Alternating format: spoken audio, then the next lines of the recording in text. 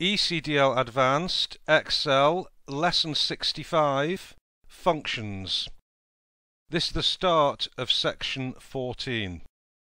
Functions are specialized formulas that make calculations easier.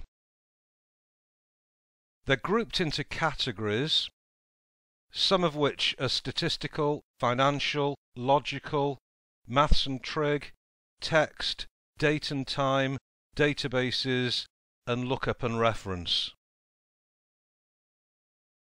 In general, statistical functions deal with analyzing numerical data from simple counting and averaging to calculating complex distribution parameters. So some of the statistical functions that you're likely to come across are count, which counts the number of cells that contain numbers, count A, which counts alphanumerics, in other words, numbers and text, and count if, which counts the number of cells in a range that match a supplied condition. And we'll look into these later on in subsequent lessons. Financial functions deal mainly with calculations involving depreciation, loan repayments and investments over extended timescales. And here are the more common financial functions, including NPV, which is net present value of an investment, FV, which is to calculate the future value, PMT to calculate the monthly payment amount against the simple loan amount, rate, which will return the interest rate, and IRR, which will return the internal rate of return for a series of cash flows. Logical functions deal with the testing and setting of conditions involving true and false values. Math and trig functions deal with processing individual numeric data from simple rounding to complex trigonometric calculations.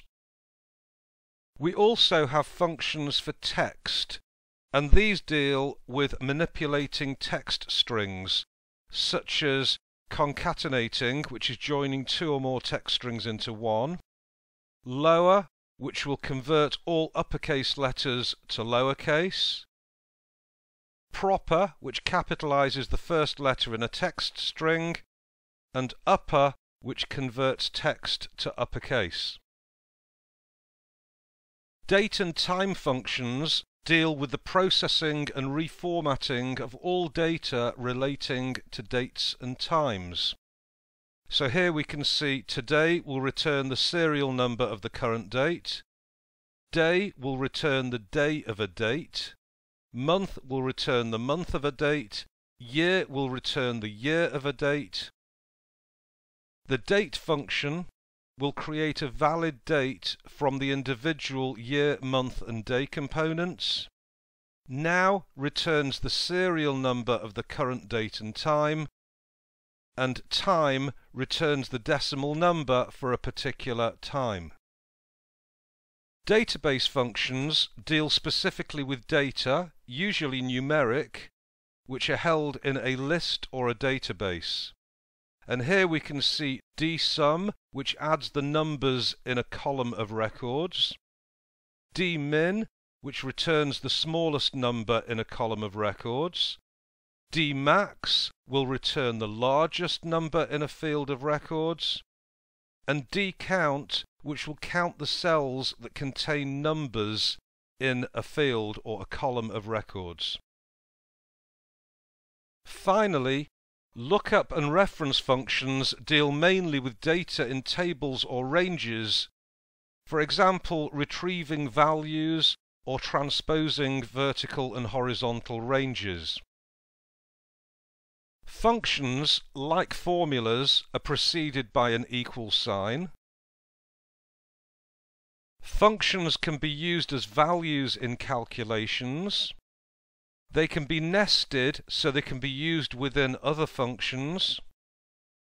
And one thing to note is that other spreadsheet applications may have different names for the same functions.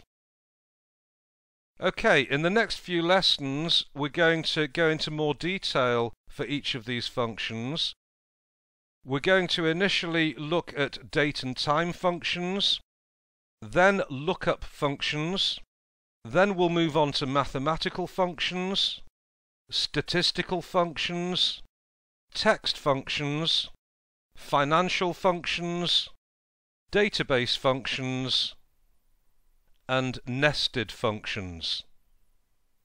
Okay, I hope this has helped as a little introduction for functions, and as I said, we'll be going into more detail in the next few lessons.